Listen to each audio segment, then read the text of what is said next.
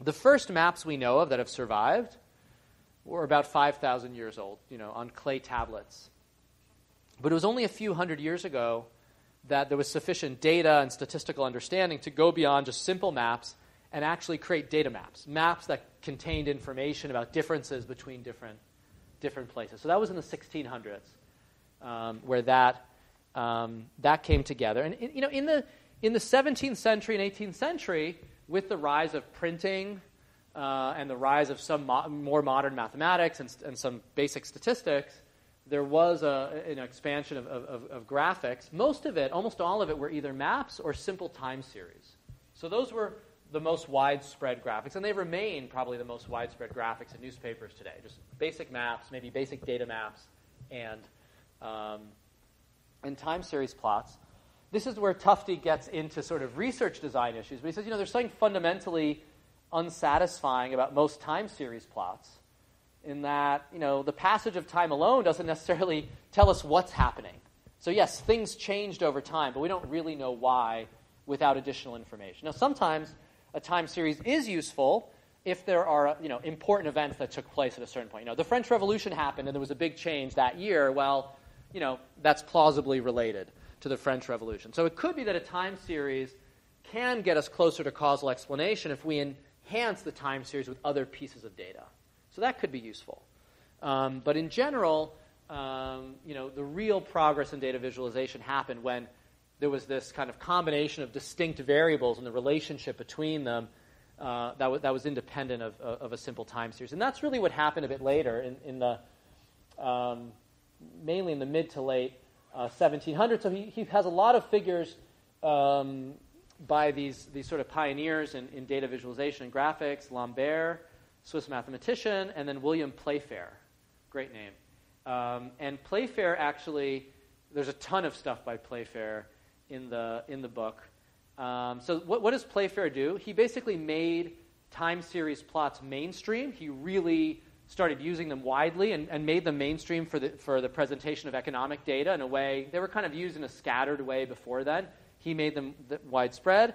And apparently, according to Tufte, he invented the bar chart, invented the pie chart, and was the first person to use area to depict quantity. So he would, you know, present various types of, you know, economic data, political data, and, and basically size observations by, by quantity, like trade quantity or something like that, trade volumes. So he was really an innovator. Um, and this 1786 book was, was, very, uh, was very important. So within a very short amount of time, a lot of these tools became you know widespread and like these are sort of like still what like excel you like if you go to excel graph you know plotting types it's still kind of like playfair's playlist you know it's still kind of the same the same stuff so what are some of the things that that he did uh, you know, these are some of the early time series. This is trade data. You can see the, you know, the imports into England and then the exports out of England. And so you can basically see the trade balance here, you know, over time. One thing that Playfair always did is he really integrated graphics into his uh, sort of words into his graphics all the time. And a lot of the early figures do this. And then for a long time, figures in scientific research stopped doing it, but they're sort of words are back. I think that's the, the kind of feeling of a lot of uh, recent work. But um, so this is you know the trade balance over time. This is one of the first bar charts. You know where the dark line he says at the bottom denotes you know the black lines are exports um, and um, the ribbed lines are imports. So again, he's sort of distinguishing between exports and imports here into different um, different countries. So he's presenting you know data in various ways. Um, so what uh, Minard is doing here is he has a graphic on the fate of Napoleon's army uh, when he tried to invade Russia. So for people who aren't you know familiar or forgot this episode or blocked it out, um, you know Napoleon had conquered most of Europe, decided to keep going east. He should have stayed in Poland. He never should have gone to Russia. It was a huge mistake for him. He decided he was going to go conquer Russia. He left with this massive army and you know between uh, the you know the Russians sort of burning every town before he could get there and destroying food supplies and a brutally cold winter, his whole army was annihilated. And shortly after that, you know, he was he was removed from power. So this is a pretty interesting figure. It's a combination of a time series and a data map to begin with.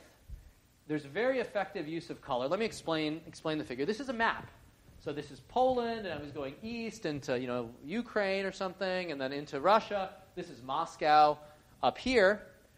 The orange line is the army he started with, going to Moscow, and the, thick, the thickness of the orange line is how many soldiers he had.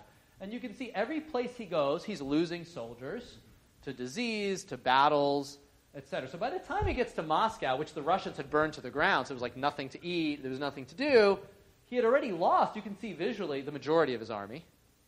Then he had to return. That's the black line.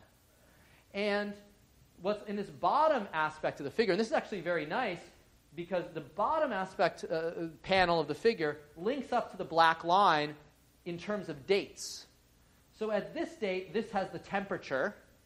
At this date over here, this is the temperature. And what ends up happening is it was a brutally cold winter with minus however many degrees. So basically, as his army retreated, it was getting colder and colder and colder. So he basically gets back to his starting point with like him, his horse, and his cook or something. I mean, I, so this is a time series in different directions. It's a map. You can see the link to temperature, which is, has causal explanatory power. It's kind of an amazing figure. And when you think about it, this must have taken a long time to conceive of. There were a lot of different pieces of data. It's driven by a real substantive understanding of the historical episode. It's driven by sophisticated use of data, and it's, it's beautiful. The colors are beautiful. Um, the other thing to note is, you know, the different panels are kind of lined up. We'll come back to this later on in a way that makes them both more effective. Like, if these were side to side, it'd be much less powerful to see that as they kept going, the temperature just kept falling uh, here. So it, it, it is, I don't know if, you know, Tufte's right that it is the greatest figure, you know, ever, you know, made or something like that. It's like the Muhammad Ali of, you know, figures or something. But um, it's a pretty nice figure.